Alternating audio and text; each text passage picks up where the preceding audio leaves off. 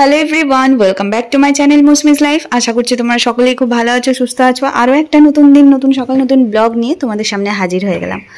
আর শেষমেশ টিকেছে এখন এই একটাই মাছ, কারণ এই সব কটা মাছকে মোটামুটি মানে একেবারে মায়ের ভোগে পাঠিয়েছে। তো এই মাছগুলো সত্যি কথা বলতে একটা অভিজ্ঞতা হলো, কারোর সাথে কিন্তু এই মাছগুলো রাখা যাবে না। এই মাছগুলো একা একা থাকাই ভালো। তো ওর জায়গাটা আজকে ক্লিন করে দিলাম পুরোপুরি। আর দেখতে পাচ্ছ দু বালতি পুরো দু বালতি আজকে কাচলাম। বেজে গেছে এই মুহূর্তে সাড়ে দশটার মতন। তো চলো ছাদে গিয়ে এগুলো মিলে দেওয়া যাক।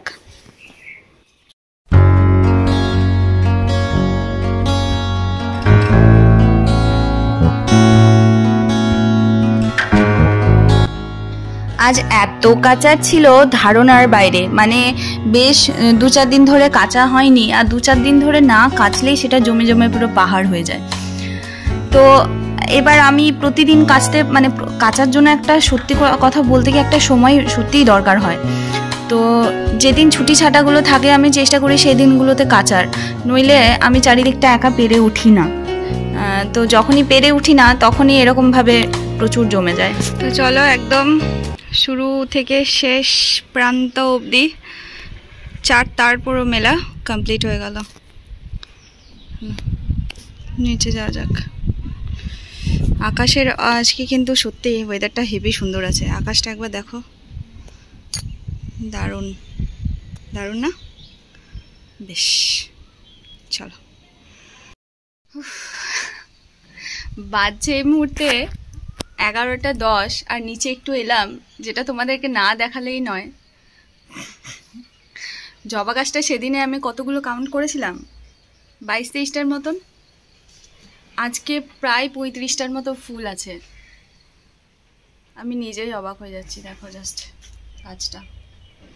এই ছোট্ট গাছ, অথচ নিচে থেকে একদম ওপর অবধি ফুলে ভরা। কি যে ভালো লাগছে আর কি যে একটা পজিটিভ এনার্জি আমি এটা থেকে পাচ্ছি। মানে কি বলব? পুরো বাড়িটা বা পুরো জায়গাটা যেন একটা পজিটিভিটিতে ভর্তি হয়ে গেছে। কি জানি হয়তো নিজের নিজের চিন্তার ওপর অনেকটা ভ্যারি করে সব কিছু বাট আমার যখনই গাছে প্রচুর ফুল এরকম ভরে থাকে, ফল ভরে থাকে না, গাছ সতেজ হয়ে থাকে, এগুলো আমাকে প্রচণ্ড পজিটিভিটি দেয়, একটা দারুণ ভাইবস দেয়। তো তোমাদের সাথে শেয়ার না করে পারলাম না, পুরো গাছ জুড়ে আমি যেদিকেই তাকাচ্ছি শুধু ফুলে ফুলে ভর্তি, যেদিকেই, যেখানেই। এ হচ্ছে গিয়ে ব্যাপার।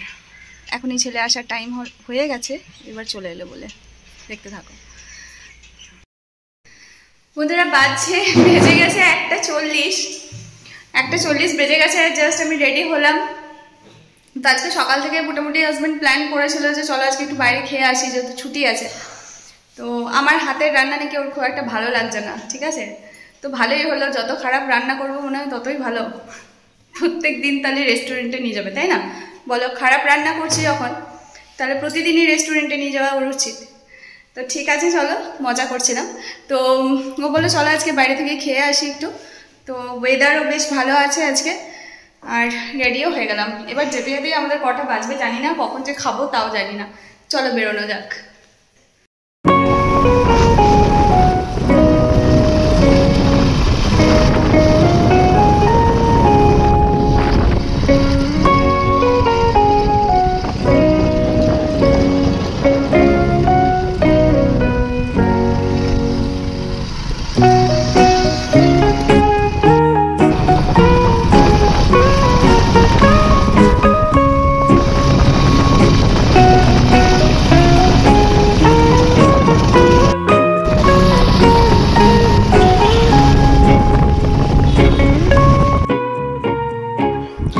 পৌঁছে গেলাম রেস্টুরেন্ট আর রেস্টুরেন্ট পৌঁছে আমার আর বেটুর অনেকক্ষণ একটু ফটো সেশন চলল। তো ফটো সেশন কমপ্লিট করে আমরা অর্ডার দিয়ে দিলাম। তো আজকে গতকাল যেহেতু চিকেন খেয়েছি মায়ের কাছে, আর চিকেন খাওয়ার সত্যি ইচ্ছে নেই। তো হাজব্যান্ডকে বললাম যে, মাছই অর্ডার করো, মাছ খেতে ইচ্ছে করছে। তো কাতলা অর্ডার করলাম। আর সিম্পল ভেজ থালি আর কাতলা, ব্যাস, এই অর্ডার করলাম। তো আজকে দেখছি থালিতে দুটো করে রাধা বল্লবীও দিয়েছিল। তো ভালোই হলো, বেটু যেহেতু ভাত খেতে চাইছে না, ওকে রাধা বল্লবীগুলো খাইয়ে দিলাম মানে ও খেলো, আর আমরা ভাত খেয়ে নিলাম।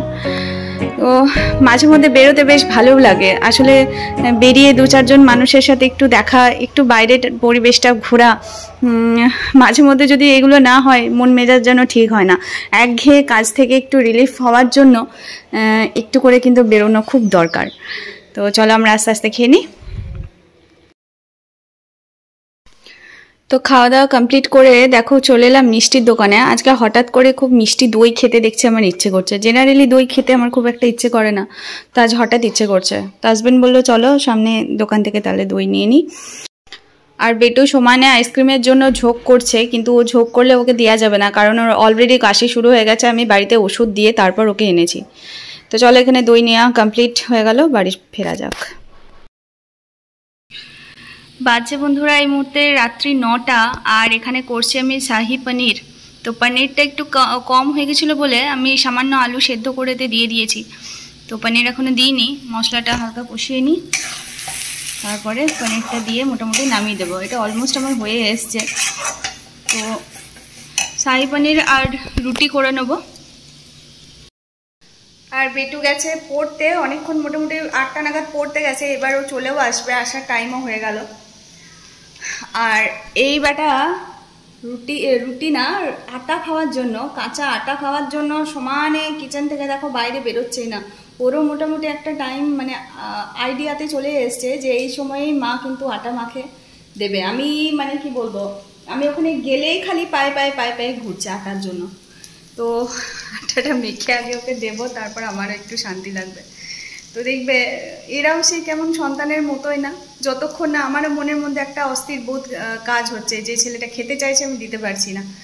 কারণ যেহেতু এখনও আটাটা মাখিনি আটা আগে থেকে মেখে রাখলে যেন রুটিগুলো আরও শক্ত হয়ে যাচ্ছে। তো যেটা বলছিলাম যে, সন্তানের খিদে পেলে তখন কেমন মনটা ছটফট করে? ওর ও যখন এরকম আমার মনে হচ্ছে আটা খাবে খাবে আমারও মনটা ভীষণ ছটফট করছে। যতক্ষণ ওকে আটাটা আমি না দিতে পারছি, ততক্ষণ একটা শান্তি কাজ করছে না। চলো, এটা করে নিই, পরে কথা বলছি।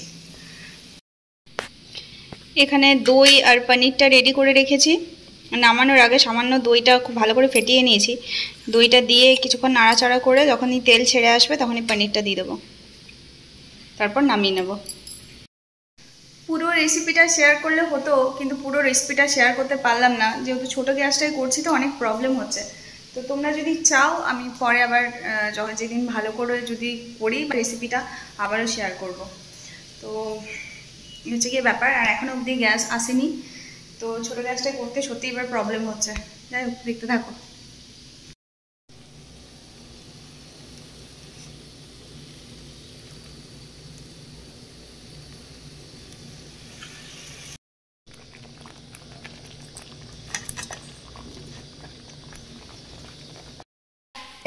তো এখানে গরম গরম রেডি হয়ে গেল আমার ইয়াম্মি শাহি পনির।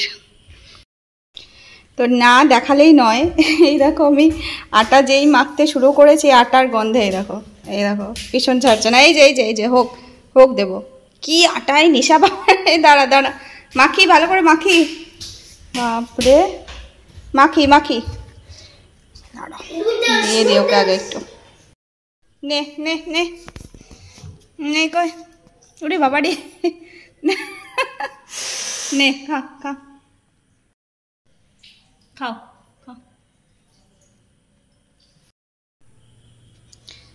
এটা হচ্ছে ওর থার্ড টাইম দেখো, সমানে পা চাটছিল।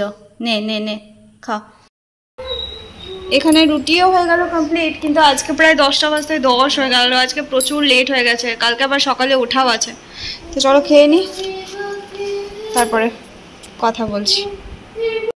যে জামা কাপড়গুলো সকালে কেচেছিলাম, সেগুলো দেখো ভাঁজ তো করে দিয়েছি, কিন্তু ওগুলো রাখা হয়নি।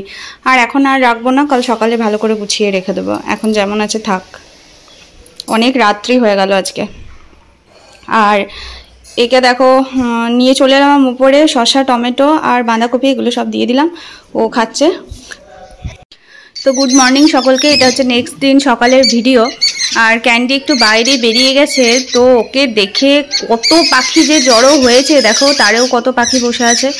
এত পাখি জড়ো হয়ে যায় সমানে চিৎকার দিয়ে যাচ্ছে, এত চিৎকার বাপরে আসলে দেখেনি তো আর কত রকমের পাখি চলে এসেছে, দেখো। শালিক রয়েছে, পালুই চোড়া আমরা বলি, গ্রে কালারের পাখিগুলো, ওগুলো রয়েছে, বুলবুলি পাখি রয়েছে, দোয়েল রয়েছে, তারপর টুনটুনি পাখি রয়েছে, কত রকমের যে পাখি চলে এসছে ওকে দেখে, আর সমানে চিৎকার দিয়ে যাচ্ছে। ওকে এবার বাড়িতে ঢোকাতে হবে।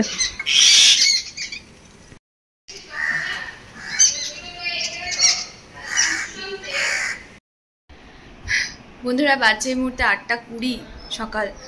আর আজকের একটা বড় কাজ যেটা করব, যেহেতু সকালের তাড়াহুড়োগুলো নেই, হাজব্যান্ডের স্কুল নেই বলে, তো আজকের যে সামনের ব্যালকনিটা আমার, এই ব্যালকনিটা আজকে ক্লিন করব। দেখায় তোমাদেরকে কি হারে মাটি জমেছে। তো এই দেখো, কত যে মাটি জমেছে, পুরো চারিদিকে একদম। আর এটা দেখো, যেটুকু বা বাকি ছিল, সেটুকুও পুরো ফিনিশ করে দিয়েছে। দেখে এটা তুলে রাখতে হবে।